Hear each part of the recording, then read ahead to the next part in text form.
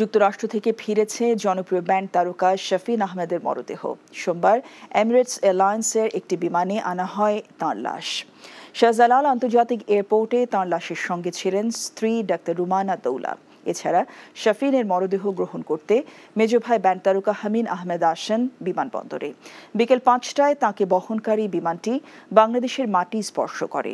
মরদেহ গ্রহণের সব ধরনের আনুষ্ঠানিকতা শেষে তাকে নেওয়া হয় গুলশানে এক স্বজনের বাসভবনে রাতে লাশবাহী শীতল গাড়িতে তাকে রাখা হবে। মঙ্গলবার বারোটায় মরদেহ নেওয়া হবে গুলশানের আজাদ মসজিদে। সেখানেই জানাজা শেষে তাকে বনানী কবরস্থানে দাফন করা হবে বলে পারিবারিক সূত্রে জানানো হয়। এখন জন্ম সনদ দিয়ে খোলো বিকাশ স্টুডেন্ট অ্যাকাউন্ট। নিজের বিকাশ নিজে কর।